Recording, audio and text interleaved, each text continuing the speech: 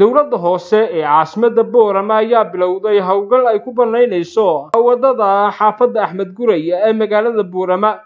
Wadadaasi ayaa waxaa dhowaantani dhagax dhigay. Madaxweyne ku-xigeenka jamhuuriyadda somalilan cabdiraxmaan saylici howlgalkani dowladda hoose ay waddadaasi ku bannaynayso ayaa waxa uu noqonayaa mid ay dowladda hoose ay halkaasi kaga goynayso dhirta ku taala iyo dabcan meheradaha soo galay waddadaasi. Xogayaha dowladda hoose ee boorama mudane xasan yuusuf riiraasha ayaa isagu kormeera ku soo maray waddadaasi. Iyo sida howlgalka wadda bannayntu ay uga socoto jidkaasi muhiimka xasan yuusuf riiraasha oo la hadlay warbaahintana waxa uu tilmaamay. Waxaan saaka bilownay jidkii weynaa ee dhowaan madaxweyne ku-xigeenka uu dhagax dhigay ee ka soo bilaamayey miskiid jaamaca ama bacadlihii hore magaalada boorama bacadlahan magaalada boorama xaggan miskiid jaamaca dhabarkiisa. Jidkaasi oo halkaa ka soo bilaamaya ilaa iyo buurta wehel gaaraya insha allaahu waxaan ku tala jirnaa inuu dhammaystirmo.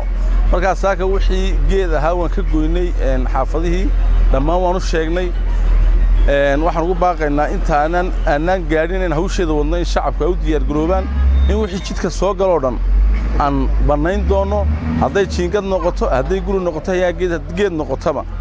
Waxaa ka muhiimsan jidkaa ka muhiimsan. Dhammaan laakiin wacyigelin baan siinay. Ranji waan marinay xaafad xaafad baan u galnay.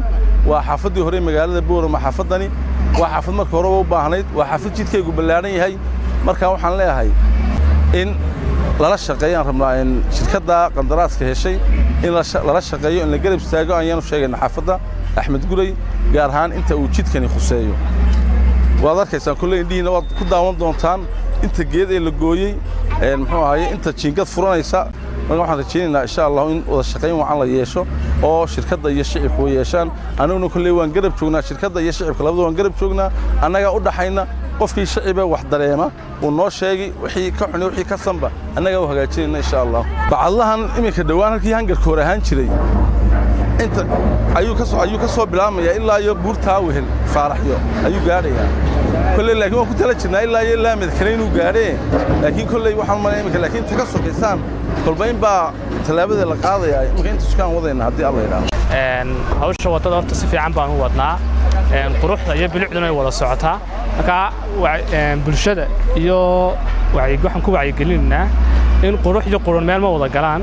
Ay quruxda mar walba ka tariyaan waddaduna iyo ka qiimo iyo qaayo iyo qaaliba waddankii uga dhigaysaa iyo qurux garanaysaa dhulkiina u magaalaynaysaa intaasaan ku wacyigelin lahaa shaqaduna si fiican bay noogu socotay nuux kadiya tv-ga caalamiga star burama